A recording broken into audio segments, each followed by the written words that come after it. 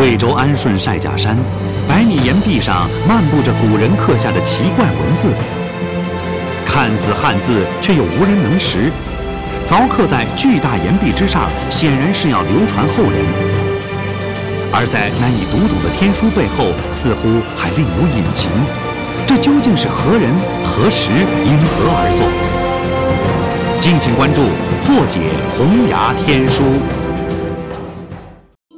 在贵州省安顺地区关岭县城东的晒甲山上，有一块神奇的浅红色绝壁，壁长一百米，高三十多米。绝壁上有一片用铁红色颜料书写的奇特符号，这些字符形状怪异，排列不整，参差错落，横不成列，竖不成行，像是文字，又更像是图画。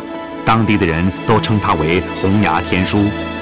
洪崖天书作为中国八大神秘文字之一，深藏在贵州腹地。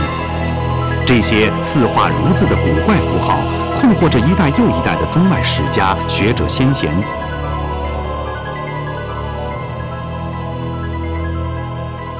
虽然对天书破解的种种说法众说纷纭、莫衷于事，但洪崖天书终成一个旷世之谜，日夜悬于高山崖壁之上。